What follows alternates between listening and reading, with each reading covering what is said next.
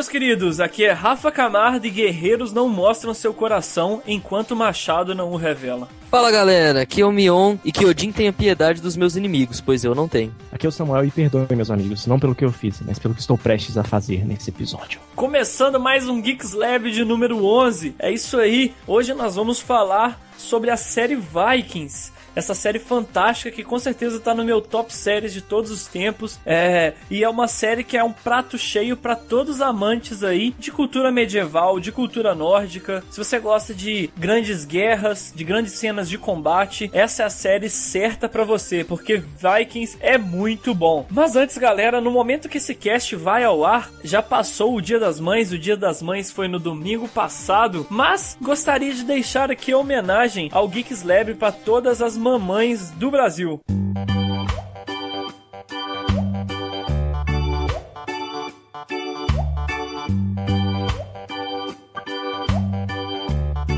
Pois é, galera, esse episódio ele foi gravado no Dia das Mães, então a gente tem que deixar aqui nosso recadinho para as queridas pessoas especiais que nos deram a vida, para as queridas pessoas que nos acordam de manhã fazendo aquela barulheira às 7 horas da manhã, naquele domingo que você tá de folga, e tipo assim, aluno que não se importa se você quer dormir ou não, mas enfim, essas pessoas que nos amam, que fazem nosso almoço, faziam, cuidam da gente quando a gente está doente, como diria o Fael, que coletam a, o nosso exame de fezes quando a gente criança. que prevém o clima e o tempo como ninguém, né, Samuel? Se sua mãe fala, leva o guarda-chuva que vai chover, ou leva a blusa que vai fazer frio, vai chover ou vai fazer frio, né? Pode estar o sol que for. Se sua mãe falou para você levar o casaco e levar o guarda-chuva, leva! Senão você vai se fuder muito, que vai chover. Vai vir uma nuvem lá do, do Polo Norte para fazer a chuva na sua região. Vai vir aquele frio do Ártico, mas leva, sigam suas mães. As mães ganham essa habilidade de prever o tempo quando elas se tornam mães ou será que é simplesmente uma coincidência que nem esse pessoal que tem alguma coisa no joelho e o joelho começa a doer quando vai trocar o clima? Na verdade, cara, assim como a pessoa que tem um problema no joelho que consegue prever o clima também, as mães, elas adquirem esse poder no momento em que se tornam mães. Assim como as pessoas que têm problema no joelho adquirem esse poder quando machucam o joelho ou coisas do tipo. Eu também acho, Samuel, igual quando um cego, por exemplo, ele ouve melhor, consegue sentir as coisas melhor, porque ele tem essa essa deficiência que, que faz ele desenvolver os outros sentidos, a mãe, quando tem a gente que tem essa deficiência que somos nós, ela tem que ter alguma vantagem, né? É, realmente nós somos a deficiência na vida das mães.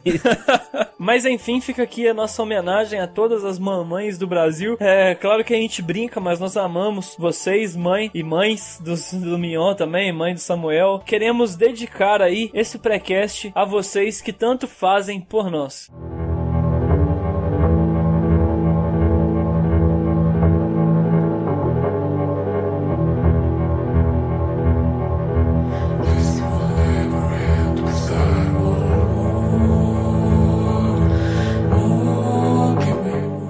Lembro que quando eu comecei a assistir Vikings, ela ainda era uma série do History Channel, e por ser do History, a galera tinha meio que um preconceito, achava que era mais uma alienígenas do passado, ia ser meio que um documentário sobre os Vikings, mas de fato a série não era. Era uma série muito fantástica, muito bem produzida, com grandes batalhas e, e muito bem feita, e com o tempo foi se popularizando, e hoje no Brasil já tem uma infinidade de pessoas que assistem e também são fãs. Nada contra, porque eu acho que todo mundo devia assistir mesmo, porque a série é muito boa. Hoje já tem na Netflix até a quarta temporada, mas a quarta temporada só tem a primeira metade. Em breve, acredito eu, que vai ter a segunda metade lá também. Então, vá assistir Vikings, que é muito bom. Tão boa que nem parece série do History, cara. Esse que é o, tipo, a melhor definição de quão boa ela é. Diferentemente da nossa série de filmes clássicos, onde a gente percorre toda a história do filme com spoilers, aqui, como a série já tem quatro temporadas, primeiro a gente vai dar uma introdução sobre o que é a série, o contexto histórico que ela passa, vamos contar sobre alguns personagens e aí sim nós vamos percorrer temporada por temporada. Então, se você só assistiu a primeira temporada, se você só assistiu a segunda ou a terceira e não assistiu a quarta, isso a gente vai fazer esse compilado por temporadas, mas também vamos ter nossa introdução. Então, não se preocupe em continuar com a gente nesse cast, que assim que a gente começar as temporadas que você não assistiu, aí possivelmente você pode ouvir um spoiler. Tudo bem? Então, do que se trata Vikings ou Vikings. É, a série gira em torno de Ragnar Lothbrok, que é um nórdico agricultor e que belo dia ele ele tava lá na sua fazenda e decide que aquele mundinho pacato de, de plantio e colheita não era mais para ele e decide se aventurar aí para as terras do oeste da Escandinávia, que é a região que representa a Noruega, Suécia e a, e a Dinamarca atualmente. A série apresenta a gente que ele, ele é um cara visionário, ele tem uma nova forma de navegar e embora ele seja um lavrador é, e tem essa ideia de conquistar novas terras para o seu povo cultivar e viver feliz, como um viking, ele tem aquele desejo de lutar. E a série mostra pra gente isso desde cedo que o viking ele não teme a morte, o viking ele é destemido, é, às vezes pela visão, pela visão cristã da época, o viking era meio que visto até meio de uma forma bestial da forma que eles lutavam destemidos e sem medo da morte, até porque na cultura deles morrer em batalha era uma grande dádiva, que eles iriam pro Valhalla, que é o que é como se fosse o paraíso somente daqueles que iam pra guerra, o paraíso dos guerreiros, onde eles iam beber, dançar, lutar junto aos deuses e aproveitar esse mundo a, até a eternidade. E principalmente fornicar. É, também. é, então a série conta com bastante aspectos históricos da Idade Média, é bem legal isso. Eu sou fã de qualquer coisa que contém a Idade Média. Mostra os costumes ali que, que se tinha naquela época, como era cultura, os aspectos religiosos, principalmente como era ali a mitologia nórdica. A série, ela não se pauta no totalmente, ela não é totalmente pé no chão, só se baseando na história. A gente tem um, um pouco de misticismo, um pouco de dessa ideia, dessa ideia mitológica dos deuses também. Então ela, ela é meio que mescla bem tanto o dia a dia corriqueiro quanto esse lado místico dos deuses da, e da religião pagã que os vikings tinham e veneravam. É principalmente até o, o Ragnar no contexto da série acredita-se que ele pode ser um descendente direto aí de Odin. Na verdade, Fael, é, ele mesmo se considera um descendente de Odin. Ele mesmo que afirma ser um descendente de Odin, cara. É, e tudo isso em contrapartida com a visão cristã, que era o povo que estavam a oeste da terra da Escandinávia ali, que futuramente os vikings iriam encontrar e iriam guerrear no decorrer do contexto histórico e também no decorrer do contexto da série. Então a série conta com batalhas de grandes produções cine cinematográficas, sim, cenários da, é, irlandeses e uma fotografia linda que fizeram que a série ganhasse vários prêmios aí de efeitos visuais e sonoros canadenses, já que a série foi produzida pelo History do Canadá, que é uma curiosidade até legal aí pros ouvintes. Cara, essa série, na, na primeira parede de escudos, cara, essa série já me ganhou. Que não é qualquer série que você vê uh, estratégias mesmo de, de batalhas, de como funcionava. E, tipo assim, na maioria dos filmes e, e, e séries e coisas do tipo sobre época medieval, sobre batalhas de exércitos e coisas do tipo, você não consegue ver uma estratégia. Você acha que, tipo assim, vai todo mundo lá um contra o outro só pra morrer mesmo. Mas tinha toda uma organização por trás disso. O pessoal não ia lá só pra morrer, eles iam pra ganhar, pô. Inclusive, eu fui um dos que defendia é, veemente isso quando eu vi a primeira temporada de Vikings, que já tinha várias guerras e, e essas estratégias, em contrapartida ao Game of Thrones, que até o momento, na, na, primeira, segunda, terceira temporada de Vikings, o Game of Thrones nunca tinha tido uma guerra. Era sempre algo tipo assim, ó, oh, vamos começar a guerra e acabava. Até ter a Batalha dos Bastardos depois, que aí sim foi uma grande guerra, mas eu ainda prefiro as guerras apresentadas no Vikings. Então, até como forma de informação para aqueles que já conhecem a série, ou também para os amantes da época medieval, ou também aqueles que não vão ver a série, mas também estão interessados e querem saber mais, vamos dar uma pincelada de qual é o contexto histórico a série se passa. Até fica mais legal quando você entende que a série tem relação direta com a história, apesar de ser uma série romantizada. Então, vamos dar um pequeno resumo aqui de qual foi o contexto histórico da época em que Vikings se passa. Costuma ser apontado aí como uma das causas pra gente ter essa era dos Vikings, de o porquê deles saírem explorando tanto e colonizando tantos lugares, é que a população da Escandinávia estava aumentando consideravelmente. Se você for ver lá no até no, no mapa hoje em dia, a Escandinávia não é tão grande, a região da Suécia, da Noruega, da Dinamarca, é um terreno que não tão grande, não tão fértil também para o plantio, faz muito frio, então a terra estava ficando insuficiente para a população se alimentar. Em contrapartida, os vikings eles estavam se desenvolvendo tecnologicamente. Como é uma região ali que é toda circundada por mares, é, eles sempre estavam desenvolvendo os seus barcos. E os barcos dos vikings, assim, estavam crescendo de uma forma absurda, como se essa tecnologia atual está se desenvolvendo. Então, a gente tem esse, esse por um lado, é, a terra está insuficiente, por outro lado, eu, eu permiti que a minha população navegue de uma forma melhor foi o que possibilitou os nórdicos a começarem a expandir e, e se aventurar aí por outras regiões do globo. É, a maior parte da população escandinava, então, era, era constituída pelos camponeses que tinham uma vida mais pacata ali, dedicava à agricultura, silvicultura, caçar e a pescar. Os vikings que a gente fala, e tanto vê em vários filmes, em quadrinhos e até em games agora, com For Honor, por exemplo, eles eram uma pequena parcela desse povo nórdico. E essa parcela, sim, é que participava da guerra naval, da pirataria, da, do comércio marítimo de fato. Isso já é um ponto um pouco diferente na série, porque a gente vê na série que qualquer tiozinho lá da série sabe lutar pra caralho de machado, escudo e tem habilidades, né? É, inclusive tem até um cara de uma das primeiras temporadas que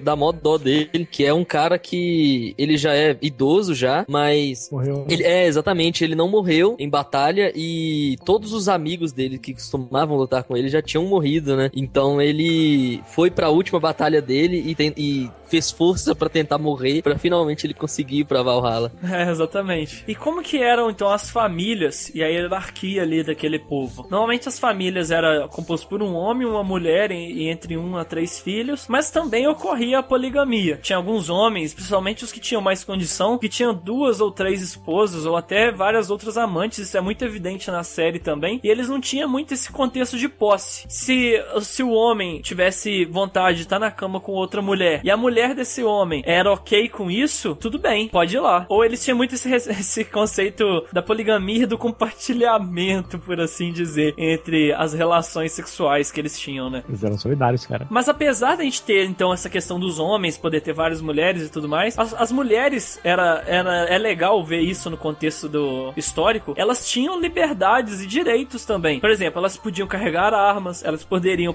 é, participar das invasões e das guerras, elas podiam pedir divórcio se elas não estavam satisfeitas com o marido, ou se, se, o, se o marido queria estar na cama com outra, mas ela não aceitava, e normalmente eram elas que controlavam as finanças da família. Assim como a violência contra qualquer mulher da época ali era proibida e podia levar até um, um membro ali da comunidade a ser morto. É, exatamente. Nesse quesito igualdade dos sexos, os vikings eram muito mais evoluídos do que, digamos, quase ontem, né? É, exatamente, porque por um outro lado, em paralelo com o povo nórdico, a gente tinha um povo saxão, que era o povo germânico que se expandiu por toda a Europa ocidental, principalmente. O cristianismo no, é, é muito baseado no patriarcado, né? Que o homem tem todo o direito e a mulher não. É legal ver isso com, na, na cultura viking aqui. Então, a linguagem deles era o nórdico antigo, e antes da chegada do cristianismo na terra da Escandinava, eles adoravam os deuses Ases. Quais são esses deuses Ases? Os deuses Ases são os deuses que permeiam ali o reino de Midgard. Quem já viu, por exemplo, Thor aí, é um deles, o Loki é outro, Odin, é... e vários outros deuses aí da mitologia nórdica que muita gente às vezes confunde com a mitologia grega, mas é outro panteão, por assim dizer. E eles tinham várias histórias interessantes e ela é bem um pouco parecida, eu acho, até fazendo um paralelo com a cultura indígena. Eles tinham o deus responsável pelo, pela guerra, o deus responsável pela colheita, o deus responsável pela fertilidade, que é um pouco parecido com o que a gente via na cultura indígena sul-americana, antes do cristianismo se expandir por aqui também. Ah, na verdade, o interessante dos vikings era que eles eram um povo tão fissurado em guerra e, e matança, coisas do tipo, que todos os deuses deles eram exatamente dessa forma. Tipo, tinha a Freya, por exemplo, a deusa da fertilidade, mas também era uma deusa da guerra. E tinha o Thor, que era o deus do trovão, mas também era um deus da guerra. Tinha o, o, o Loki, que era o deus da, da zoeira, digamos assim, né? Mas também era um deus da guerra. Então todos os deuses eram deuses da guerra e tinha mais um atributo. Era tipo isso, né, cara? Toda a mitologia gira em torno de guerreiros. Então, em qual contexto se passa a série? Então, a, a série se passa no início dessa era viking, é, que teve o seu, um dos seus marcos, o saque do, do mosteiro de Lindisfarne em 793 depois de Cristo. Para quem já viu a série, e isso não é um spoiler eu dizer, esse mosteiro é o mosteiro que eles encontram o Ateustan, que a gente vai apresentar mais pra frente, logo no início da, da primeira temporada. Então, esse é de fato um fato histórico que também tá na série. É, o povo viking e esse povo guerreiro, ele meio que se seguiram duas frentes: os vikings do oeste e os vikings do leste. Os vikings do oeste, eles estavam ali na região da Dinamarca e do sul da Suécia. Eles fizeram várias incursões e acabavam se estabelecer em diversas partes da Europa, é, principalmente na França, nas Ilhas Britânicas, da região da Inglaterra e da região do Reino Unido ali. é, ao mesmo tempo que os vikings da Noruega se aventuraram pelo Atlântico, inclusive tem estimativas que os vikings chegaram aqui nas Américas muito, muito antes que Colombo e que qualquer outra forma de colonização que veio da Europa para cá, é, tendo mesmo chegado na América do Norte, onde eles tentaram fixar, porém não tiveram sucesso. Então, as expedições dos vikings do Oeste tinham esse foco de colonizar e pilhagem. O que, que era pilhagem para quem não tá acostumado com o termo? Era chegar no território, o que tinha de riqueza ali, eles roubavam e levavam embora. Agora vale lembrar que os vikings, eles não roubavam somente bens meio que materiais, não. Eles eram meio que traficantes de escravo. Eles, eles sequestravam, de certa forma, né? Eles roubavam pessoas para vender como capital humano na, na terra deles. Parte dessas expedições deles eram em busca desse capital humano, que era, gerava muito lucro para eles. É, eles geravam riqueza a partir de tudo que era possível gerar riqueza, né? Esse era um costume muito comum na época ali medieval e pré-medieval também, onde na guerra os derrotados eram levados como escravos, né? Agora, enquanto a partida aos vikings do oeste, a gente tem os vikings do leste, que é, principalmente os vikings da região da Suécia. É, ao contrário da galera do oeste, a galera do leste era mais a galera do comércio. Eles abriam rotas comerciais ligando aos países nórdicos ao oriente, somente nos países bálticos, na região da Rússia hoje, no Mar Negro, no Império Bizantino e também no Califado Islâmico, que é uma coisa que a gente vê é, que começa a acontecer até na última temporada lançada do Vikings, que é na quarta temporada, que eles começam a ir mais para essa região. Porém, o foco das expedições suecas estava mais então nessa questão de abrir vias comerciais para se vender e comprar mercadorias entre os povos. É, finalmente, é, a era dos Vikings ficou aproximadamente até o ano de 1050 depois de Cristo e ela acabou se exaurindo, por assim dizer, quando a gente teve a, o avanço das, do cristianismo e de toda aquela rota das cruzadas e tudo mais da Europa que tinha essa intenção de levar o cristianismo para os povos considerados impuros ou pagões, inclusive os vikings. É, nesse caso dos povos impuros e pagões, não era tanto levar o cristianismo, né? era mais levar a morte. Anyone who wants to be king?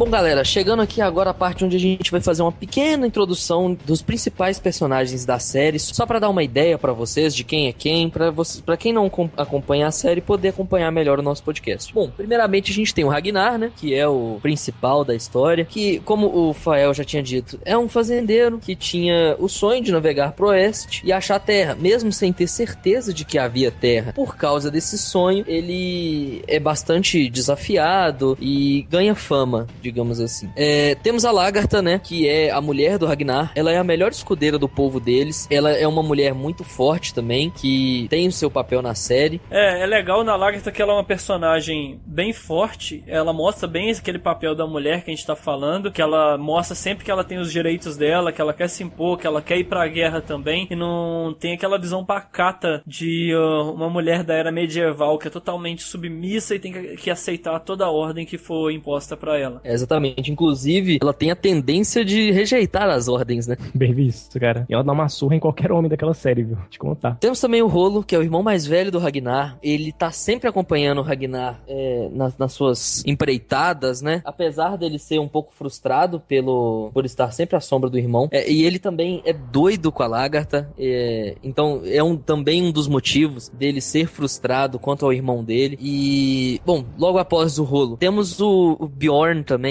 que é o primogênito do Ragnar. Ele é sempre treinado pelo Ragnar e ele tá doido para ir pra guerra mostrar o seu valor o mais rápido possível, mas por enquanto ele continua apenas se mostrando um promissor futuro líder. Temos também o Floki, que é o cara que constrói barcos. Ele é conhecido principalmente por isso e ele é um pouco egoísta nas suas escolhas, sempre justificando tudo que ele faz, é, falando que era a vontade dos deuses, mas a, apesar de tudo, ele é o melhor amigo que o Ragnar pode pedir. Ele faz tudo pelo Ragnar. Ele também era o, o engenheiro da época, digamos assim, né? Ele sempre tinha essas ideias mirabolantes, um jeito irreverente de ser, talvez até um pouco louco, né? Inclusive tem um, um forte boato rolando em torno da série que, apesar de nunca ter sido confirmado, ele é claramente o. Se a gente fosse comparar a série com a própria mitologia nórdica, né? Ele seria o representante do Loki. É, tanto pela semelhança do nome, quanto por todas as outras características dele. Temos também o Ethelstan, que é um o cristão que o Fael comentou agora há pouco, né? Que eles acharam lá no mosteiro. O Ragnar vai com a cara do Ethelstan e decide não matar ele, porque com, com a visão visionária que ele tinha, né? Ele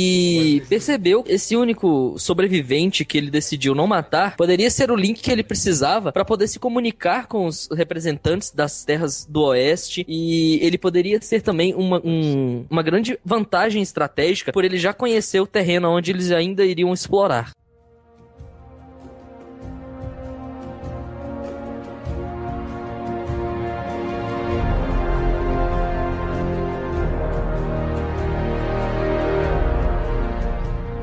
Então, galera, é, a partir de agora a gente vai começar a percorrer cada temporada até a quarta temporada. Então, se você não assistiu, a partir de agora pode conter spoilers em ordem cronológica. Então, fique tranquilo que você pode parar de ouvir na temporada que você ainda não assistiu. Então, começando com a temporada 1, nós vamos percorrer de forma breve as quatro temporadas até agora exibidas dessa série fantástica que é Vikings. Então, galera, como dito pelo Fael aí, a nossa história ela se passa no começo do século 8, o início das expedições vikings. Logo nos primeiros capítulos da primeira temporada, a gente é apresentado ao guerreiro e fazendeiro Ragnar Lothbrok, juntamente com a sua esposa Lagerta e seus filhos. Então, Ragnar ele tinha como anseio explorar as terras do oeste, que era considerado uma loucura, e isso colocou ele contra o Earl Harrison, que insistia em mandar os seus guerreiros para continuar saqueando as terras do leste, e não do oeste, como era, anseava o Ragnar. É, é bom a gente deixar claro pro ouvinte que não conhece Vikings, é, como que funcionava a hierarquia deles, né? O Ragnar era simplesmente um camponês ali, mas um homem livre. A gente tinha escravos também no contexto, contexto, como a gente já falou, e a civilização viking ela se organizava por esses Earls, que fazendo uma contrapartida com o que a gente conhece do modelo imperial, os Earls são como se fossem os condes. E esses condes também respondem a um rei que está acima de, de todos esses Earls. Uh, entre os Earls e os reis, ainda tinha o cargo de Jarls, que estava um pouco acima do nível de autoridade do que os Earls. Eles possuíam mais terras e coisas do tipo. Sim, e o Ragnar, né, Samuel? Ele não queria ir para ele não gostava dessa ideia de ir pro leste. Porque o leste era mais ou menos na terra ali deles mesmo, que já era uma terra não muito fértil. Ele já sabia que não ia ter muitas riquezas lá. E a série mostra desde esse início que ele era um cara que ansiava mais. Ele queria crescer. Ele tava cansado daquela vidinha pacata dele de agricultor ali, né? Exato. Isso mesmo, Fael. E após uma certa dificuldade, ele acaba convencendo alguns guerreiros a seguir com ele para o oeste. Ele consegue que o Flock, um amigo dele, faça um barco para que ele possa fazer a viagem viagem e coisas do tipo. E ele consegue realizar essa primeira viagem, mesmo ainda sem autorização do Earl Howardson. É, e é interessante também que a série mostra uma nova forma de navegação para aquele povo. Tanto que ninguém levou muita fé nele, inclusive o Howardson, que era o Earl lá que estava comandando, que eles acreditavam que a terra no oeste não existia, não tinha como chegar lá. É, aquilo era. Eles iam acabar numa missão suicida, por assim dizer. Só que o Ragnar ele defendia que um viajante tinha dado uma nova forma de navegação para ele que usava o sol e não sei se vocês lembram, usava uma espécie de bússola, mas que ela ficava boiando em cima da água, que através do sol ele sabia para onde estava o norte, sul, leste, oeste, que refletia nessa bússola de madeira, e assim ele conseguiu uma referência para navegar e ir em região a oeste, onde ele acreditava ter terras muito ricas e muito férteis, como era dito meio que quase como uma lenda e um mito entre o povo viking ali na época. Ele vai em direção oeste mesmo sem consentimento explícito do rei Howardson. E é lá que ele acaba atacando aquele mosteiro que se citou no início do cast e consegue roubar várias peças sacras lá que eram feitas de ouro e consegue adquirir alguns escravos, entre eles o onde a gente é apresentado ao monge Ateustan, que venha a ser um grande personagem no decorrer da série aí. A galera meio que não gosta dessa ideia do Ragnar mesmo trazer como escravo, ficar ali tão próximo do Athelstan, né? E a série desde cedo começa a mostrar o conflito entre o povo nórdico com a cultura pagã com o povo cristão que estava a oeste ali na, na região germânica, né? Exato. O Ragnar ele traz o Athelstan como um escravo, mas ele acaba se tornando meio que próximo até demais desse escravo. Isso não, não, acaba não caindo muito bem para ele como viking se aproximar tanto assim de um cristão. Bem, nesse retorno do Ragnar dessa primeira expedição a oeste, e o Haraldson, ele não consegue meio que ir contra aquilo que estava na frente dele. O Ragnar ele tinha feito uma expedição e ele tinha conseguido trazer várias riquezas.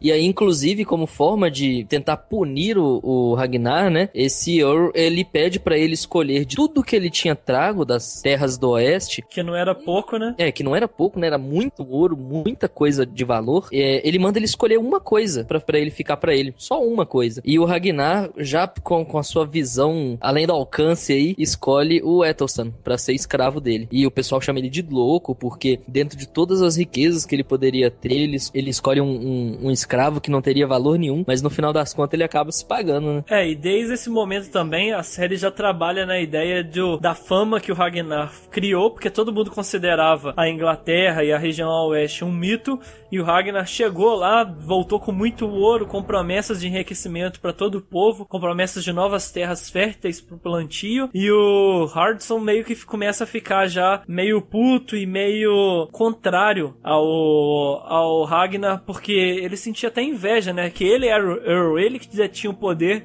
só que o Ragnar começava já a se tornar mais importante do que ele pro povo. Ainda na região de Keitogat, que é onde Ragnar, o Earl Haraldson, Polo, Lagertha e etc. viviam, é, um profeta ele vê o futuro do Haraldson e diz que o Ragnar anseia por sua morte, que ele tá procurando a morte do Earl. Aí fica meio que no ar a dúvida contra quem, é, a favor de quem serão os deuses nesse embate. Meio que fica claro aí que você vai ter um embate entre uma hora, é claro que uma hora você vai ter um embate entre Ragnar e o Haraldson. Bem, o Ragnar, ele consegue voltar com mais riquezas da segunda viagem que ele fez até o oeste, até as terras da Inglaterra, e mas ele volta já cansado e ferido, e ele descobre que o Earl tinha aprisionado o, o irmão dele, que era o Rolo, e estava torturando o irmão dele coisas do tipo. Então, meio que com isso, é, a fazenda do Ragnar é queimada e coisas do tipo, e Ragnar ele tem que meio que decidir uma, uma ele tem que botar um ponto final nisso. Então ele desafia o Howardson para um duelo de vida ou morte. E apenas um dos dois é, sairia vivo desse duelo. Ah, vai, um duelo de vida ou morte. Uh, e adivinha quem que saiu vivo? Quem que é o protagonista da nossa querida série? O jovem Ragnar. É, e ele mata o Howardson no duelo e permite que Sig, a antiga esposa do Howardson, permaneça viva e que atue como serva da família. Então, após matar o Howardson, o Ragnar ele se torna o heir daquela região. E isso era uma coisa bem comum naquela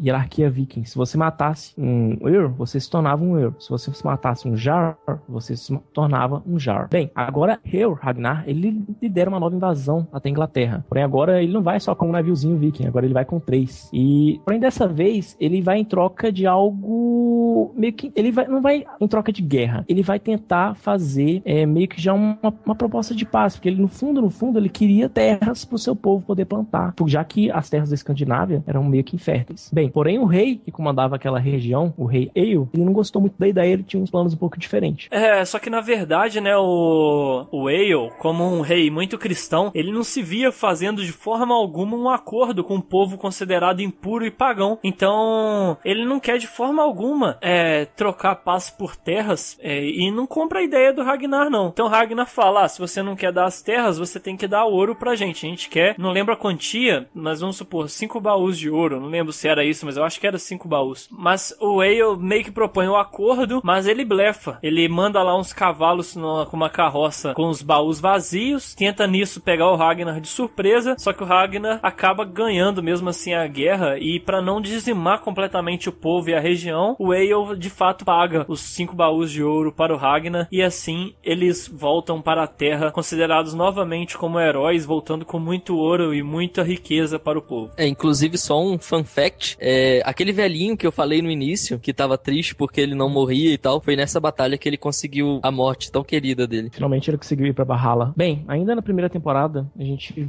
após o Ragnar, ele voltar dessa batalha contra o rei Eil, uh, acontece meio que um cerimonial de sacrifício viking viking. É, aí você consegue ver toda a mitologia viking sendo expressada, todas as cerimônias e coisas do tipo. Uh, e nesse cerimonial de sacrifício humano é onde Ragnar ele conhece o rei das Terras do Norte, que era o rei Horik. E, e o, o Horik, ele, a princípio, agrada muito do Ragnar, vira meio que fãzão do Ragnar, e ele pede o Ragnar para resolver um conflito de terras que o rei Horik estava tendo com o Jar Borg. É, e é interessante a gente ver nessa, nessa cerimônia que eles vão ter que eles vão até sacrificar um humano em virtude das comemorações ali da, de um certo evento da religião deles, que o Athelstan ele se sente meio deslocado. Ele vê toda aquela aquela matança, todo aquele sangue, toda aquela orgia e bebidas e tudo que o povo viking fazia e ele se sente meio fora daquele mundo. Até no começo da série tem uma cena que o Ragnar e a Lagertha estão transando e o Ragnar chama o Athelstan para participar se ele queria e o Athelstan nega assim, mas ele você vê na cara dele que ele fica totalmente desconfortável e fica mais desconfortável ainda vendo um humano sendo sacrificado para os deuses e o humano sendo entregue à sua própria vontade, porque é uma honra gigantesca para aquele povo morrer como sacrifício para os deuses mesmo na cerimônia fora da batalha. Então, ele vê o povo se entregando, vê o povo se drogando e, e ele acha aquilo muito estranho até pensa em se matar e se livrar daquele mundo ali, mas acaba desistindo dessa ideia. E é até legal que o Ragnar ele começa a ficar com tanta fama que acontece esse evento que o Samuel comentou do rei é, dos vikings ali, de uma região dos vikings, vem ver o Ragnar e quer participar daqueles, daquelas invasões com ele, de tanta fama que o Ragnar já tinha adquirido. Ele meio que se coloca de igual para igual ao Ragnar ali e vê no futuro uma grande chance deles é, se conclamarem maiores ainda com o tempo, mediante aos grandes saques que o Ragnar estava promovendo. Mas eu considero que o rei Horik, pedindo o Ragnar para resolver esse conflito com o Jarborg, ele meio que tá testando o Ragnar, cara. Ele ainda não tem plena confiança no Ragnar. Aí ele meio que propõe isso daí para fazer tipo meio que uma forma de teste. Então com a chegada do rei Horik pedindo ajuda ali com Jarlburg, como Samuel já introduziu, o Ragnar alia-se ao rei Horik para ir confrontá-lo. Porém, por um outro lado, Jarlburg, ele meio que tenta seduzir o Rolo. Ele percebe que o Rolo sempre fica à sombra do Ragnar, que o Rolo olha pro Ragnar meio com inveja, com a, pra Lagertha também, e fala, ó, fica do meu lado, vem lutar comigo, que ele sabia que o Rolo era um grande guerreiro, que se a gente ganhar, depois eu vou te dar. Eu vou te dar um, um cargo de, de Earl, eu vou te dar poder. E o Rolo vê naquela oportunidade uma chance dele se tornar alguém aquém da sombra do, do Ragnar. Então, meio que se forma esse grupo, por um lado, o Ragnar e o King Hork, e por outro o Rolo e o, o Rolo e o Yarborg. Então a série meio que acaba assim quando os dois vão se confrontar e também com uma cena de uma praga que chega em Kattegat e acaba dizimando um, um pouco ali o povo e inclusive mata a filha do Ragnar e a filha da Sig nessa praga.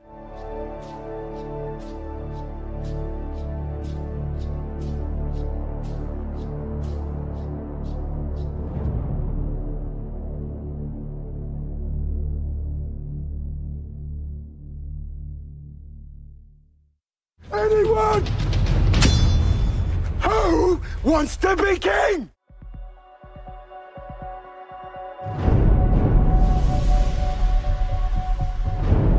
A segunda temporada ela já começa muito acelerada e até uma coisa que eu gosto de Vikings, porque não tem muito enrolo, eles não ficam cozinhando o galo para chegar no fim e deixar as coisas legais ou para te prender, não. É, é, Vikings é sempre clima de adrenalina, é sempre pancadaria e a gente tem sempre é, grandes cenas, independente se é um episódio do começo, meio ou fim da série. E a segunda temporada. E tudo acontece muito rápido.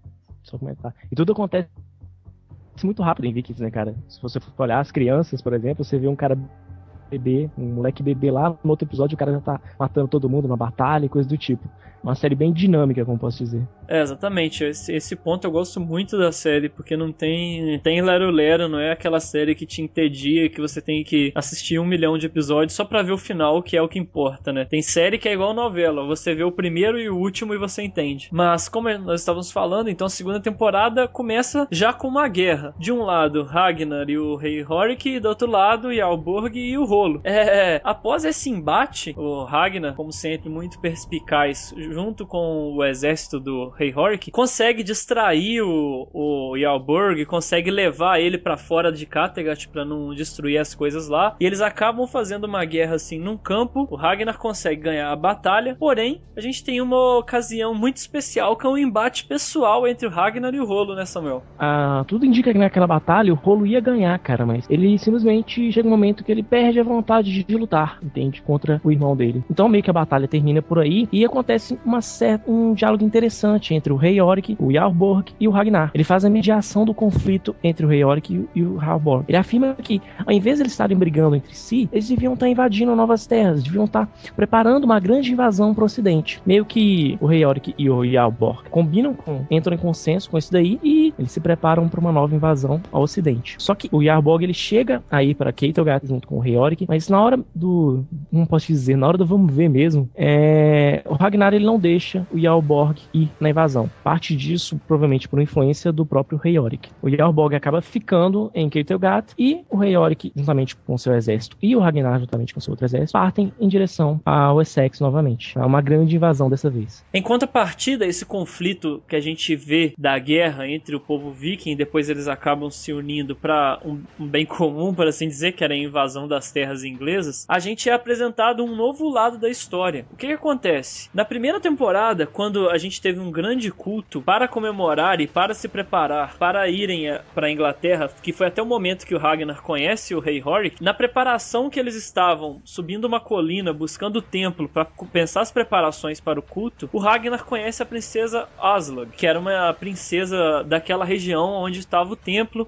O Ragnar acha ela uma mulher meio exótica, meio diferente. Ela até tinha um poder, por assim dizer, de ter algumas visões. Tinha gente que até achava que ela era meio uma feiticeira ou, ou tinha algum tipo de poder. E o Ragnar meio que é encantado por essa mulher e acaba tendo relações com ela. Já na segunda temporada, a gente acaba vendo que o Ragnar engravidou a Aslog, que ela estava grávida e o Ragnar meio que envolvido ali, não sei, achando que sempre a grama do vizinho é mais verde, acaba decidindo ficar com ela. Na verdade, ele tem a audácia de propor pra Lagertha que eles fossem um trio, ficassem o Ragnar e mais as duas mulheres. Só que a Lagertha, como uma mulher muito forte, muito independente, não quer aquilo. Então ela pega o Bjorn e vai embora e o Ragnar acaba se casando com a princesa Oslog para ficar com o filho por perto, já que a Lagertha não queria. Então Ragnar meio que não ligou para ela, se você quiser ir embora, vai embora. E, na verdade, o Bjorn que escolhe que ir com a mãe dele, cara. Chega um momento desse, desse embate entre a Lagertha e o, e o Ragnar, em que o Bjorn ele tem que escolher para com quais dos dois que ele vai ficar. Bem, o normal, natural, seria ficar com o pai dele. Pô, o cara já era um Earl, era um grande guerreiro, mas ele acaba preferindo ir com a mãe dele, que era a Lagertha. É, inclusive a Lagertha até manda ele ir ficar com o Ragnar, né? Mas na hora que ele chega lá e no último momento ele decide ir contra a vontade até mesmo da mãe dele e ficar com ela. Né? Já um outro personagem que tá sempre envolvido aí na, na, na série e é muito importante para o contexto, o Atelstan, que no, na primeira temporada ele é um monge super cristão e super devoto à sua fé. À medida que o tempo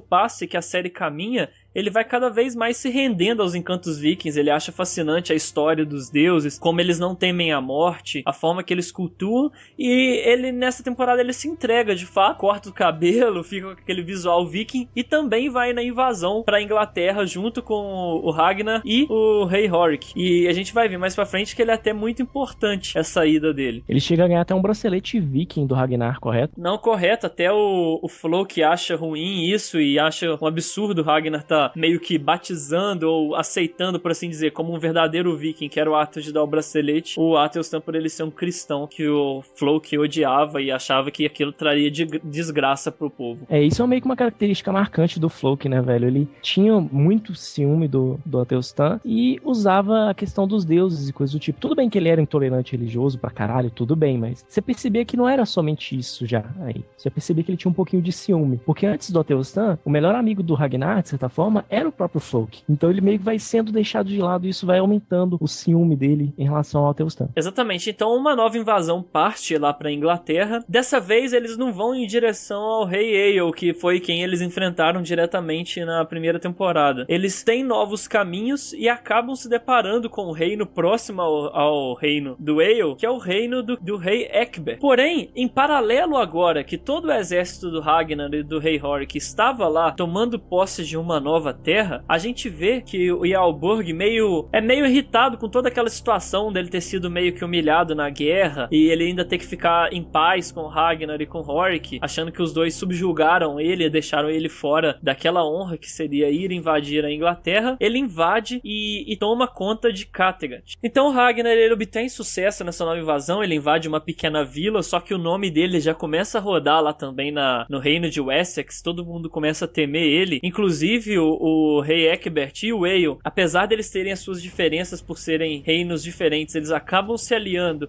já prevendo que o Ragnar cada vez voltaria com mais força para tomar mais terra e tomar mais posse de ouro e, e pilhar mais, se unem, eles acabam formando uma importante aliança que a gente vai ver que vai ser importante também para o futuro. Então, como forma de fixar essa aliança, eles chegam até mesmo a arranjar um casamento entre os filhos, né? É, o filho do rei Eckbert, ou a Edelwulf, ele se casa com a filha do rei Eil. Nisso, Ragnar e o rei voltam para Kattegat é, para se preparar para uma nova invasão e angariar mais recursos e mais soldados e talvez dessa vez até levar o Yalborg junto. Porém, quando Ragnar chega na, na sua terra, ele vê que ela tinha sido tomada. É, dessa forma, ele se enfurece e entra naquele modo dele berserker, né, com sangue nos olhos e simplesmente dizima qualquer tipo de defesa que o Borg tinha, toma Kattegat de volta e se eles já tinham receio e já queriam destruir o, o, o Yalborg, dessa vez eles não o perdoam. Até nesse momento a gente é apresentado uma coisa fantástica da série que é a forma que o Yalborg foi punido, né, Mion? É, cara, foi muito interessante, um jeito completamente inovador, né? ninguém tava esperando por isso. Eles fizeram a águia de sangue nele. Que que, e em que que consiste a águia de sangue? Você pega o, as costelas do cara e abre elas pelas costas, e nisso você puxa o pulmão dele e coloca sobre os ombros. É, diz que é muito bonito de se ver, né? Como eles dizem na série. Apesar deles não mostrarem muito bem, você tem que pausar para ficar olhando. Mas é também o, o, jeito que eles descrevem de manter a pessoa viva o mais tempo possível enquanto ela sofre o máximo possível, né? Então realmente eles decidiram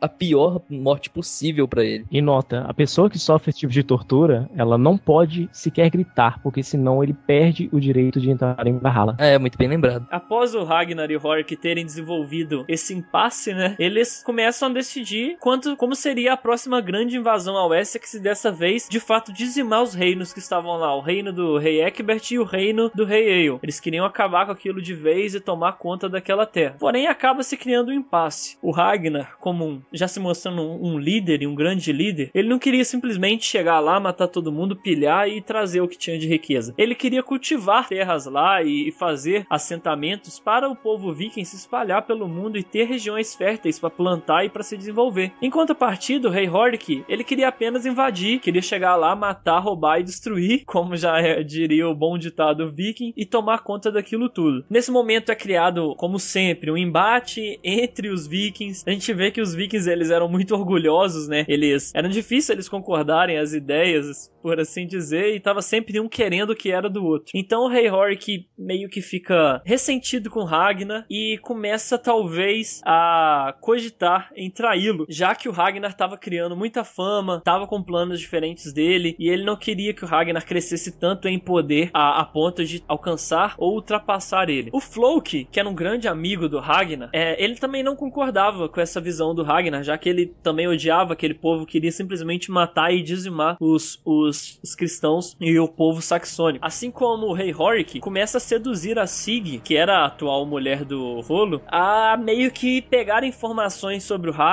já que ela era uma mulher próxima e servia o Ragnar e a família dele, para talvez achar um momento certo deles conseguirem fazer uma emboscada e acabar com Ragnar assim que eles voltassem da Inglaterra. Uh, mesmo com esse princípio de traição partindo da Sig e do Floki, o Ragnar ele parte novamente junto com o rei Orc para as terras do rei Eckbert. E lá acontece uma grande batalha na série e o rei Eckbert chega a ser quase totalmente dizimado. Porém, quando ele estava prestes a ser dizimado, ele meio que propõe o o acordo que o Ragnar queria desde o início, que era meio que dar terras aos vikings para que fossem cultivados, em troca de os vikings não atacarem mais as vilas e terras do rei Egbert. E os vikings voltam, de certa forma, com ar de vitória para Kattegat. De volta a, a a treta começa a ficar maligna, porque o rei Oric, ele meio que começa a botar em execução os planos dele para trair o Ragnar. Porém, no fim das contas, o Ragnar foi mais esperto. E a traição do Floki nunca aconteceu e nem da Sig. Até da Sig, que eu jurava que ia trair o Ragnar, velho, ela não traiu ele. Quem fala na segunda temporada que já sabia é um baita do mentiroso, porque não tem como saber, cara. Não tinha como saber, velho. Eu achei,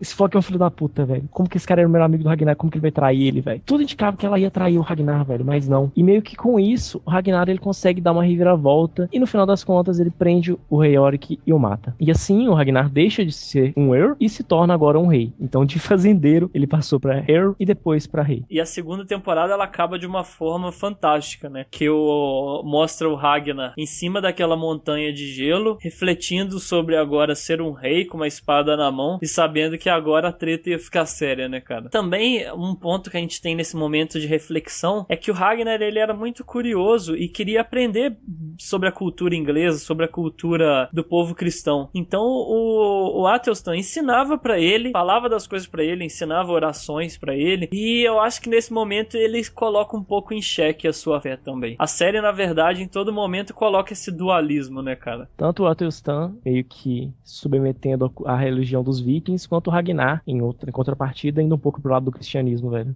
Anyone who wants to be king?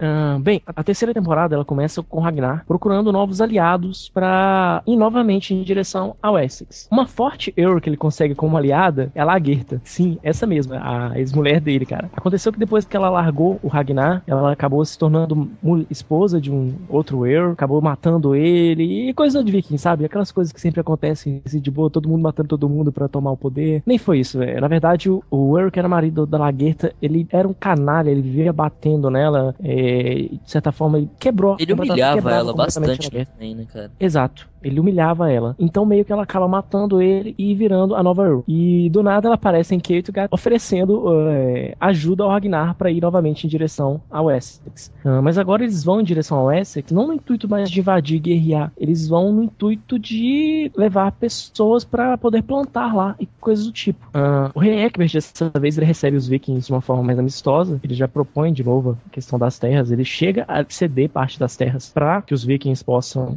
construir seus assentamentos porém o Ragnar ele teria que atuar como, de certa forma, um aliado em uma batalha de Wessex que visaria ajudar a, a Quentry a retomar a coroa de Mércia, que era um, um, meio que um país vizinho ao do rei Egbert. É, né, o que estava acontecendo? O trono de, de Mércia tinha sido liberado, né, digamos assim, pelo seu antigo dono, né? A, a Quentry, junto com todos os seus outros familiares, estavam disputando esse trono. E o Ragnar foi pedido para apoiá-la. Uh, enquanto Ragnar foi com seu exército ajudar a Quentrit, a pedido também do rei Egbert, uh, o Atelstan e a Lagertha, eles ficaram ajudando no assentamento viking. Uh, foi nesse momento também que o Atelstan virou meio que amigão do rei Egbert. Isso é uma coisa meio que curiosa, que o Atelstan, ele, tipo assim, ele fica tanto amigo do rei Egbert quanto do Ragnar. Tanto Ragnar quanto o, o rei Egbert gostam muito dele, porque ele é aquela figura que une os dois lados. Tanto o rei Egbert queria saber mais sobre o povo viking e o Atelstan era um cara muito inteligente, um cara muito sábio, quanto a recíproca com o Ragnar querendo conhecer da cultura do povo cristão. Então, o Athelstan era esse cara que era o detentor, digamos assim, do conhecimento. Agora, convenhamos, quem que não gosta do Athelstan também, né, cara? Um personagem incrível, sinceramente. Enquanto isso, em Kattegat, é, um misterioso meio que visitante aparece lá na,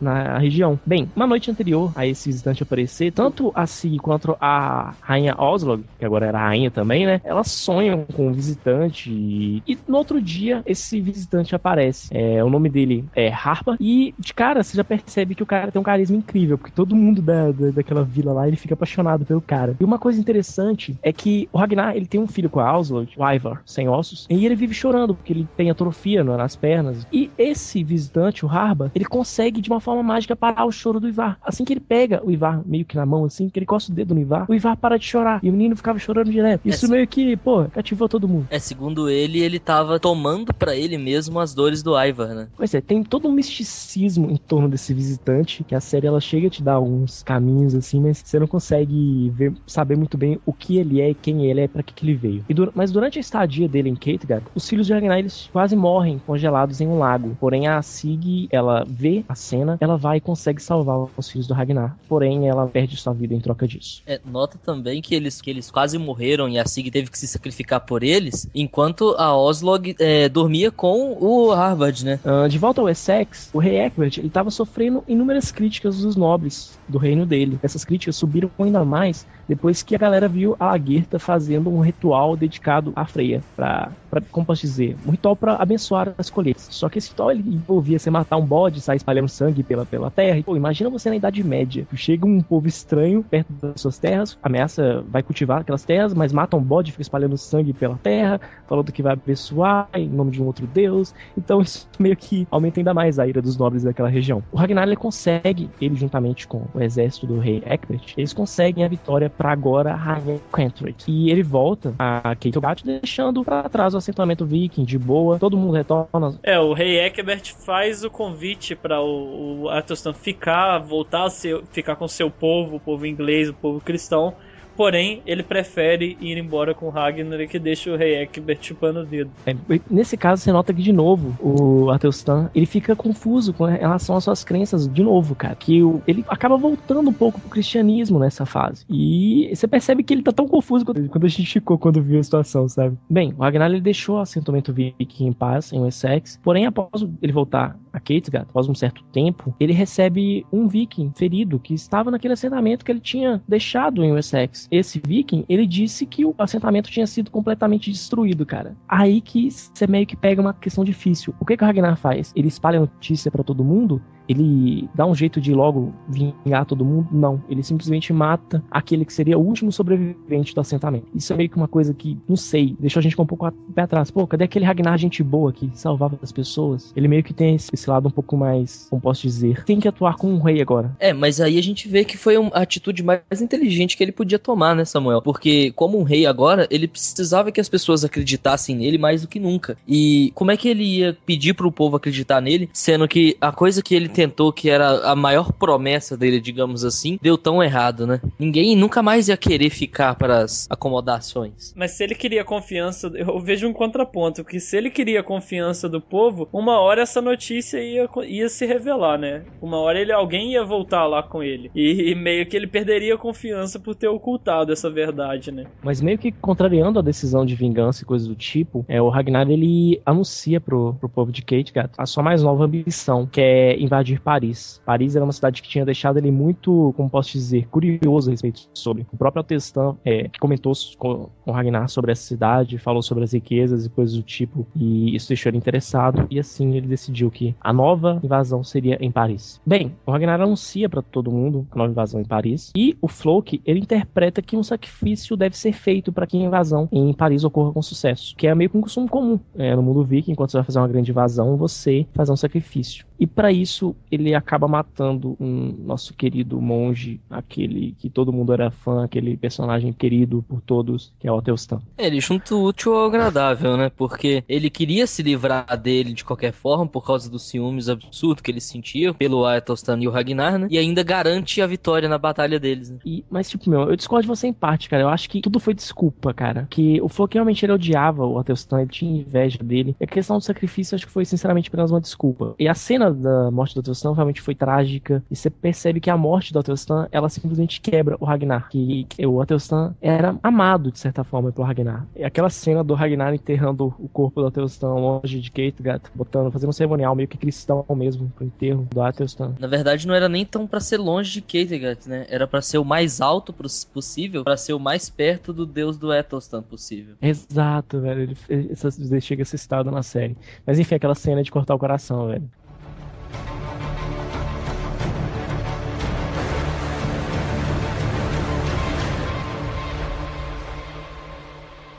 A primeira invasão em Paris, cara, ela acontece sem muitas dificuldades, porque a cidade ela não estava preparada para tamanha brutalidade e ousadia dos vikings. Eles conseguem facilmente penetrar as defesas de, de Paris e saquear. Porém, eles armam um acampamento próximo a Paris e quando eles vão para uma segunda investida na cidade, o imperador Charles ele simplesmente lacrou a cidade e tinha armadilhas preparadas. E os vikings, vikings eles simplesmente não conseguem é, penetrar o cerco de Paris. E nesse segundo ataque, o Wagner ele chega a ser ferido na primeira tentativa tentativa do segundo ataque. E, subitamente, no meio da série assim, o Ragnar ele envia um pedido ao governador de Paris para ser batizado, cara. E o governante, ele, como um cristão, ele meio que não pode negar esse pedido. Até o próprio clero de Paris, ele, ele não, não permite que, o, que o imperador Charles recuse esse pedido. E o batismo do Ragnar acontece, mesmo algumas reações desfavoráveis de, de parte do exército do Ragnar. Bem, aí acontece nos momentos mais tristes da série, cara. O Ragnar, ele morre. Pois é, galera, ele morre. E como ele agora era um cristão, por conta do batismo, o funeral dele segue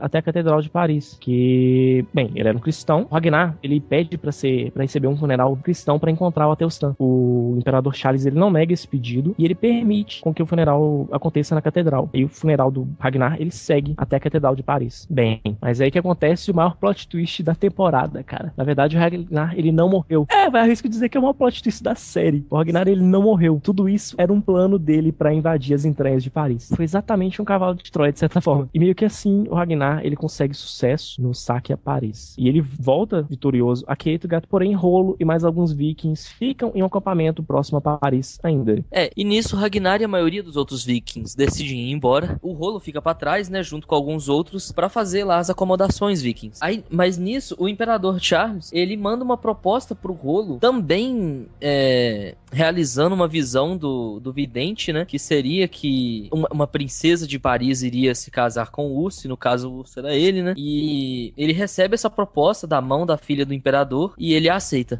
E assim acaba a terceira temporada. Mesmo o Rolo ainda acompanhando o Ragnar, ele ainda tinha aquele sentimento desde a primeira temporada que ele era a sombra do Ragnar e ele estava limitado ao sucesso do Ragnar. E ele queria ser mais, ele queria ser mais que o irmão, ele cobiçava o que o irmão tinha e viu nesse momento uma oportunidade para ele ser alguém. Anyone who wants to be king?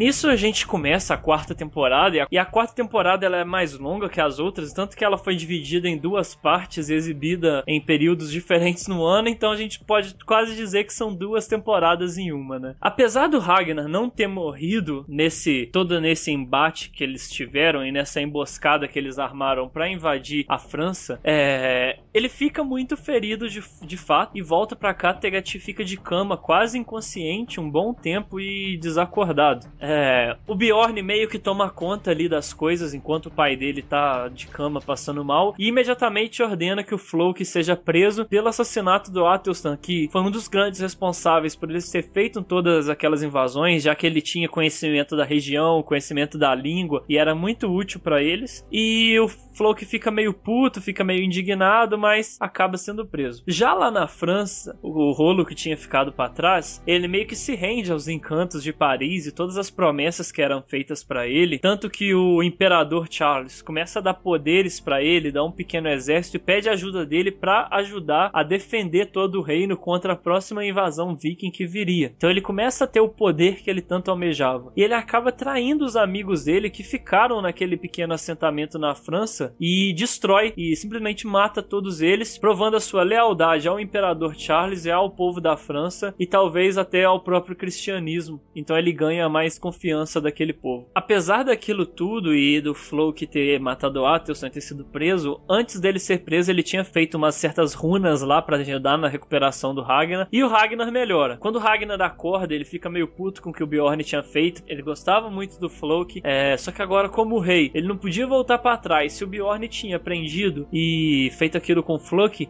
ele sabia que ele ia acabar tendo que matar o Floki, porque senão todo mundo ia ver ele como um rei frouxo e um rei que não cumpre com a sua palavra. Aí, pois é, Fael, como diria o Antônio Fagundes nas novelas da Globo lá, a palavra de rei não volta atrás, né? Nisso, o Bjorn ele se senta meio ultrajado pelo seu pai, que ele se sente que o Ragnar não dá o verdadeiro valor que ele, que ele tinha, já que ele era um grande guerreiro, ele sempre estava ganhando as batalhas junto ao seu pai, e mesmo assim o Ragnar tratava ele como um moleque, e ele decide abandonar Kattegat e, e se isolar em uma floresta, vivendo ali naquele ambiente hostil, para provar pro pai dele que ele podia e que ele realmente era um grande guerreiro, uma grande pessoa. E para provar para si mesmo também, né, cara, que você percebia que o Bjorn era um pouco inseguro. Ele sempre vivia meio que embaixo das asas do, do Ragnar, então ele meio que sentiu a necessidade de provar para si mesmo também o quão forte que ele era, né? Então ele queria meio que foi meio que uma busca tanto para impressionar o pai quanto para impressionar a si mesmo. Nisso, como muito comumente acontecia lá em Kattegat no mundo viking, a fama do Ragnar estava ultrapassando todas as barreiras ali da Escandinávia e nisso aparece em Kattegat um novo rei, o rei Harold e seu irmão Halfdan, que também era um rei viking e que queriam ir para a França junto com Ragnar, já que eles sabiam da fama e já tinham aquela promessa de também enriquecer junto com Ragnar e se aventurar e ganhar fama também e serem bem vistos por todo mundo viking junto com, na, na, junto com a fama e junto com as invasões do Ragnar. O Ragnar, para manter a sua palavra, ele tortura muito o Floki, o Floki fica preso, o Floki sofre uma tortura que foi a mesma que na mitologia o Loki sofre também, é o que vendecia mais aquele similaridade que a gente disse também na, na primeira temporada. E o Ragnar estava quase decidido a matar o, o Floki. Só que chega em determinado momento da série que o Floki perde aquilo que ele mais amava, que era a sua filhinha, que ele tinha junto com a sua mulher Helga. E o Ragnar meio que considera aquilo já tortura demais. Ele sabia que aquilo, a, a filha era o bem mais precioso que o Floki tinha, que ele era muito apegado, ele sentia a dor do Floki e acaba o perdoando e o soltando. Porém, o Floki mesmo assim se mostra meio ingrato. Ele não concorda muito com o Ragnar ter achado ruim dele matar o Atelson, que era um cristão, e acaba se aproximando mais desse novo rei que chega em Kattegat, que é o rei Harold, porque ele era também meio parecido com Floki nessa questão de amar os deuses acima de todas as coisas e, e não odiar cristãos. É, e de odiar cristãos. Já a gente vê, por outro lado, um reino que estava meio fora da série, por assim dizer, que era o reino de Wessex. O... A influência do rei Egbert vai aumentando cada vez mais. Ele consegue trair a princesa Quentrith, que ele tinha ajudado outrora, e toma o território dela. Ele se torna o rei mais poderoso, com mais recursos. E isso cria atrito até com o antigo aliado dele, o Rei Eil. Porque, como ele estava querendo expandir tantos seus territórios, ele dá a entender que um dia ou outro ele poderia ir contra o Rei Eil também e tomar conta daquele território que era território dele, né? Então a gente vê que ele estava expandindo os seus, as suas fronteiras tinha traído Ragnar destruindo o assentamento e ele era um cara muito similar com Ragnar nesse ponto, né? Ele tinha ambição de ser alguém grande, ser alguém histórico. Nisso o povo viking se prepara, junta de novo um grande exército, já agora com a ajuda do rei Harold, que tinha chegado lá com uma grande embarcação com diversos soldados que poderiam ajudar na invasão da França. Porém, assim que eles vão e vão chegar na França, eles tinham que passar por um grande canal que ligava a entrada da França ao, ao mar. Só que o Rolo, conhecendo o povo viking, sabendo que eles viriam de barco por aquela trilha, ele tinha preparado dois fortes e uma corrente submarina escondida entre esses dois fortes, preparados para impedir os barcos de passarem por aqueles fortes. Então o rolo é bem sucedido, consegue impedir o povo viking de entrar lá, consegue derrotar vários soldados do Ragnar e matar vários soldados do Ragnar, e isso deixa o Ragnar muito irado, muito puto, porque além de descobrir a traição do rolo, ele tinha sido derrotado pelo seu irmão, que para ele era uma coisa assim inimaginável e impensável. Ele não conseguia aceitar aquilo de de forma nenhuma. O Ragnar pede moral, os vikings são muito 880, enquanto o Ragnar tava ganhando, ele era o cara mais foda, e na primeira derrota dele, todo mundo começa a questionar a liderança do Ragnar, achando que a era de ouro do Ragnar tinha acabado. Porém, o Ragnar ele era sempre inteligente, sempre visionário e estava à frente ao seu tempo. E ele vê uma forma de ultrapassar essas barreiras, né, galera? Pois é, né, Fael? É, no momento que eles estavam indo embora, tava todo mundo nos seus barcos já. O Ragnar tá viajando, olhando pro céu, e aí ele percebe que ele poderia resolver esse problema, né, de uma forma muito genial. Mais uma vez ele conta com seu amigo Flock, que era um engenheiro extremamente bom, e eles sobem os barcos para cima do barranco, né? Eles, eles arrumam um jeito de levantar eles usando, usando roldanas e tudo mais, e eles já, já chegam de novo no próximo ataque por cima do, do rio, né? Por onde eles ainda teriam que subir. Exatamente, eu acho essa cena até linda demais, eles toda a engenharia que eles montam. E se ele não podia ir por mar, mas também não dava para todo mundo ir por terra é, até chegar lá na entrada da França, eles, eles contornaram o morro, é, fazendo tipo uma trilha, um, ou um trilho, na verdade, de trem com os barcos, até conseguir dar a volta nas, na, na barreira que o rolo tinha criado e descer com o barco rio abaixo de novo. E nesse momento, Ragnar está pronto para combater o rolo em mais uma vez, frente a frente agora decidido que ele ia matar o rolo e ia acabar com o povo de Paris. Então uma nova batalha formada, só que o, o, Rolo, ele novamente foi vitorioso, ele, ele foi mais estrategista que o Ragnar, ele consegue invadir os, as plataformas barcos que eles tinham construído para chegar até Paris, e o exército do Ragnar se vê obrigado a voltar para Kattegat e para a região deles com o rabo entre as pernas e todos desanimados, assim, que foi a grande frustração do Ragnar da vida, ele nunca tinha sido derrotado tão bruscamente como ele foi nessa invasão a Paris. Nisso a gente termina a primeira parte da quarta temporada.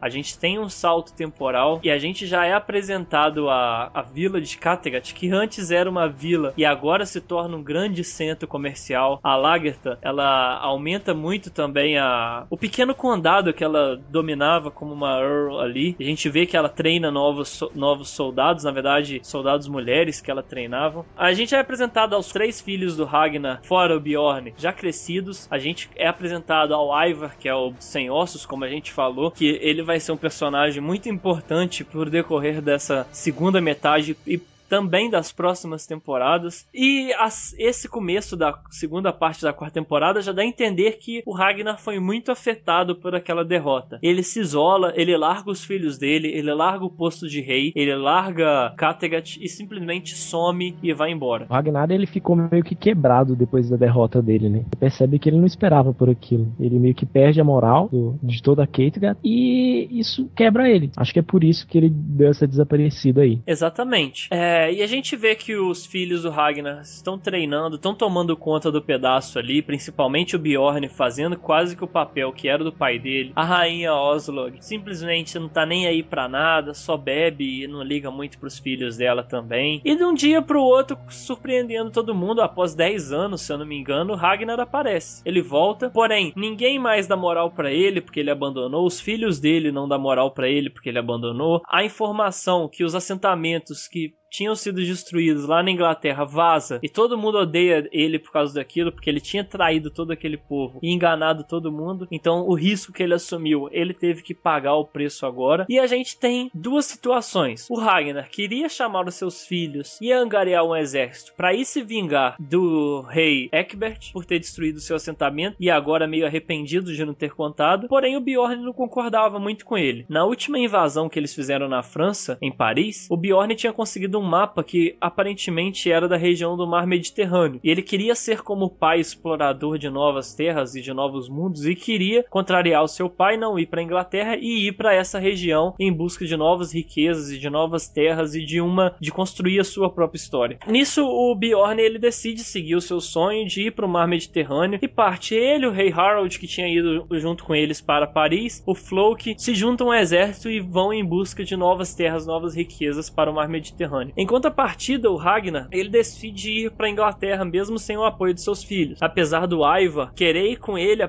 mesmo sendo aleijado e tendo dificuldades, é, mas o Ragnar vê potencial no garoto, vê que ele se ira e, e tem aquela fúria viking, que ele seria alguém, então é importante ele ir junto com ele. Porém, o Ragnar, ele não, ele não tem um exército, ele não tem soldados. Então ele meio que pega o pequeno tesourinho que ele tinha acumulado nas suas últimas invasões e tinha enterrado escondido e acaba co conseguindo convencer uns mercenários aí com ele que não queriam ir com ele de graça de jeito nenhum. E é um exército meio fuleirinho, meio uns velhos assim, meio só gente que não tinha nada a perder mesmo, que acaba indo com ele pra, pra Inglaterra. Ragnar não tinha mais moral nenhuma em Kattegat. Esse pequeno exército de mercenários, Ragnar arruma o Essex novamente. Porém, no meio da viagem, eles passam por uma grande tempestade e poucos conseguem sobreviver é, dessa tempestade. Aí do nada você vê o Ivar e o Ragnar numa praia com alguns poucos vikings, daqueles que já não eram muito bons guerreiros. Lá, o Ragnar, o intuito principal dessa viagem dele ao Essex era conseguir vingança em relação ao rei Egbert. Porém, os soldados, os guerreiros que estavam do lado do Ragnar, eles não tinham o menor interesse em sequer auxiliar o Ragnar. Eles ficavam, criticando o Ragnar por terem que ajudar a transportar o, o Ivar, que era o filho aleijado do Ragnar e coisas do tipo. Os guerreiros do, Ragnar chegavam a achar que o Ragnar estava muito suado, que tudo estava dando errado, da tempestade e coisas do tipo. Chegou um momento que o Ragnar teve que tomar a decisão de matar todos os soldados, todos aqueles guerreiros que haviam restado com ele, cara. Ele fez isso meio que como forma de se proteger e proteger ao Ivar, que pelos outros guerreiros era considerado peso morto. Após isso, ruma Ivar e Ragnar uma vila onde estava o rei Egbert. Chegando lá, o Ragnar ele é preso, meio que óbvio, né? Pelos soldados. O, o Ivar é tratado de certa forma um pouco mais, de forma, como posso dizer, um pouco mais carinhosa, já que ele não apresenta ameaça nenhuma, já que ele é aleijado. E bem, chega um momento que o Ragnar ele vai ceiar juntamente ao rei Egbert dentro de uma jaula. Porém, o rei Egbert ele tem um certo respeito pelo Ragnar e ele liberta o Ragnar dessa jaula e os dois começam a simplesmente jantar e beber e conversar sobre a vida, o universo. Mas meio que os dois sabem que. Os dois entendem que o Ragnar ele nunca mais vai voltar a Kattegat. Isso é meio que um fato. Só que o próprio rei Egbert ele não teria coragem de matar o Ragnar. De certa forma, ele considera. Ele tem um respeito tão grande pelo Ragnar que ele considera considerar o Ragnar como um amigo. Ele acaba mandando o Ragnar para as mãos do rei Eil. Porém, Samuel, antes do Ragnar ser enviado pro rei Eil, ele fecha um acordo com o rei Egbert. Que qual era esse acordo? O rei Egbert ia permitir que o Ivar fosse embora para Kattegat em paz e que alguém levasse ele de barco até lá. E a contrapartida é que ele morreria, porém ele diria para o Ivar que os seus, para os seus filhos não vir vingar o rei Egbert, porque o rei Egbert li, libertou ele, por assim dizer. Que o culpado na verdade era o rei Eil. Então o Egbert, muito astuto, ia usar da vingança dos filhos de Ragnar para acabar de vez com o rei Eil e tomar aquele reino para si também, né? Só que para o Ivar a conversa já muda. O Ragnar fala para, para o, o Ivar que ele seria mandado embora, ele iria embora em paz, porém ele deveria voltar e acabar com ambos. Ele devia acabar com o rei Egbert, deveria acabar com o rei Eil para vingar a morte dele, que ele seria morto, por assim dizer.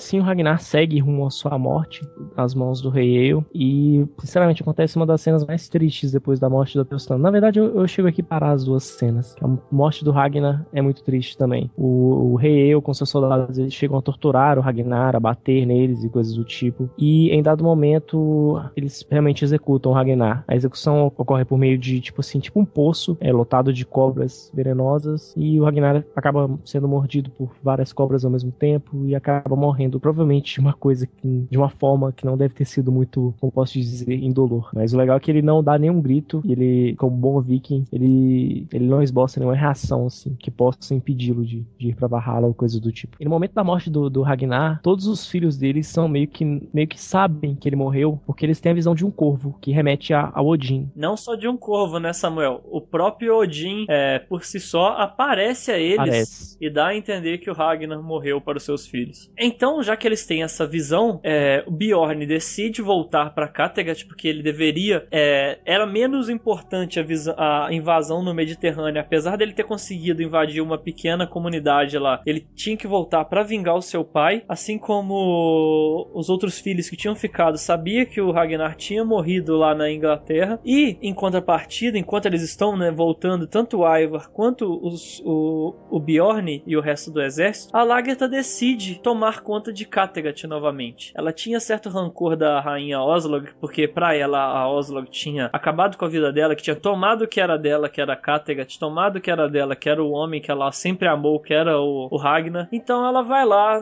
na mesma novela Viking, mata a rainha Oslog, e toma Kattegat para si e domina toda aquela região. Nisso, o Bjorn volta, o Ivar volta, se reúnem todos os filhos de, do Ragnar. Eles estão. tem certo clima de tensão entre o Bjorn e os outros filhos, porque uh, a Lagertha tinha matado a rainha Oslog. O Bjorn, apesar de não ser filho dela, ser filho da Lagertha, ele entende a situação, mas eles conseguem priorizar e focar a sua raiva, que era juntar um grande exército para se vingar da morte do Ragnar. Como o Ragnar era muito famoso e a sua fama se estendia àquela região, os filhos deles conseguem angariar o maior exército já feito pelos vikings. Vem gente de todas as regiões, não só da região da Noruega, vem gente da Dinamarca, vem gente da Suécia. E o povo viking junta o maior exército já feito por aquele povo. Então, nem precisa dizer o que, o que eles fizeram. Eles voltam para Inglaterra e dizima de vez o reino do Ale e dizima de vez o reino do Eckber. Um ponto importante de notar nessa parte também também é que você consegue ver quão bom estrategista é o Ivar, correto? Você, você viu a estratégia que ele teve para cansar o, o, exército do, do rei Eckbert? Exatamente, como eu disse anteriormente, ninguém botava muita fé no Ivar, achava que ele era um pobre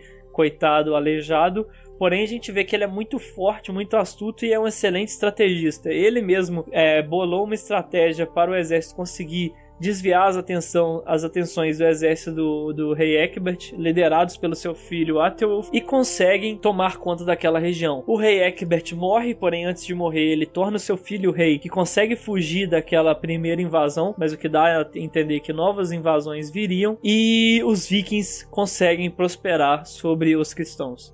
Então os filhos do Ragnar conseguem fama por ter conseguido vingar o seu pai, porém eles criam meio que um impasse de ficar juntos. O Ivar queria continuar saqueando a Inglaterra e continuar dizimando o povo e continuar indo atrás do Ethelwulf, que era o filho do rei Egbert, para dominar tudo. O Bjorn queria seguir o seu sonho de explorar o Mediterrâneo. O rei Harold, ele queria voltar para Kattegat, porque ele tinha meio esse sonho de ser o rei da Noruega e estava meio por debaixo dos panos querendo talvez futuramente tomar aquela região da Lagertha, apesar de uma pequena emboscada que ele tinha feito antes para Lagertha foi sem sucesso. E já o, o, os demais filhos filhos do Ragnar, inclusive o Ubi, que era o mais velho, queriam continuar o sonho do seu pai de cultivar terras na Inglaterra e possibilitar o reino viking a se crescer. Que isso dá o gancho para o que vai ser a quinta temporada, mostrando todas essas frentes dos filhos do Ragnar mundo afora.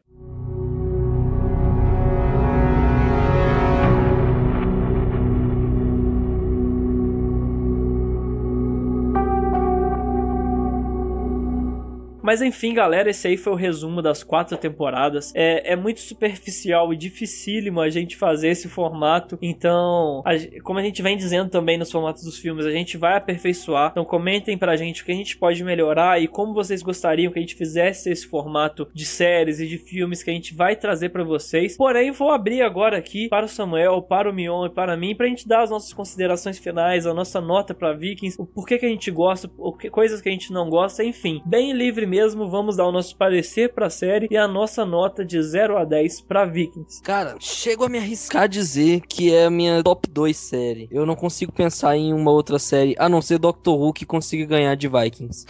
Então, pra não ficar no 10 ali junto com Doctor Who, eu dou 9,5. E você, Samuel, quais são suas considerações e nota para Vikings? Uh, cara, Vikings é uma série que conseguiu me encantar muito pelo fato de trazer a mitologia nórdica e batalhas, estratégias de batalha medieval. Porém, eu acho que a série começou a se perder um pouco na terceira temporada. Eu não considero a terceira temporada uma temporada boa. A quarta temporada, ela conseguiu melhorar um pouco, estava acontecendo uma terceira. Por que isso daí, na minha opinião? Tipo assim, na primeira e na segunda temporada, essa questão de de todo o misticismo, ela era explora, explorada meio que em plano de fundo. Você não tinha realmente coisas míticas, é, coisas mágicas acontecendo. Tipo, um visitante chega lá, toca no bebê, o bebê para de chorar do nada. Tem, você não tem muito esse misticismo que te traz e tenta te enfiar a goela abaixo que acontece na terceira temporada. Porém, na quarta, acho que isso aí mudou um pouco. Tirando a parte do Odin, eu acho achei até aceitável. Então, a minha nota para Vikings, a primeira e segunda temporada eu gostaria de dar nota 9 e no geral a série ganha um 8,5. Eu não gostei da morte do Athelstan, que eu não achei uma morte válida. Eu acho que eles desenvolveram muito o personagem para matar ele de uma forma tão, tipo, idiota assim, como eu achei que foi. Mas enfim, é a vida, né? Nenhuma série é perfeita. É, assim como o Mion, Vikings também tá no meu top séries. Eu não colocaria em top 2, talvez a minha top 3 ou top 4. Porém, é uma série fantástica, cara. Eu até fico receoso receoso de a gente, no resumo e no nosso cast, não conseguir demonstrar a grandiosidade que é Vikings. Essa dualidade de religião, cristianismo e a religião pagã, a religião nórdica ali, a mitologia nórdica, é muito legal. A trilha sonora e aqueles cantos vikings, aquela, aquela música é, é fantástica, te coloca mesmo na atmosfera da série. A forma como eles exploram aquela cultura diferente. Eles têm essa questão do, como o Samuel disse, um pouco do misticismo, mas eles também abrem precedente para você duvidar daquilo aquilo, não deixa claro que aquilo é verdade. E a série te faz pensar, te apresenta muito bem o mundo dos vikings e o mundo medieval de fato. É muito pé no chão. As batalhas fantásticas, personagens icônicos e fantásticos como Floki, como Athelstan, o próprio Ragnar, o Bjorn, a Lagertha. Enfim, é uma série fantástica, gente. Não se deixem influenciar pelo nosso resumo, pela nossa nota, pelas nossas impressões. Tirem vocês mesmo a impressão de vocês. Vikings não tem aquela aquela ideia de outras séries que é o que? Ah, assiste 10 episódios e o décimo primeiro vai ficar legal. Não, assiste que desde o primeiro se você gostar, você vai ser fisgado. Se você não gostar, pode parar de assistir no primeiro mesmo. Mas deixo aqui minha nota para Vikings, que é a nota 9.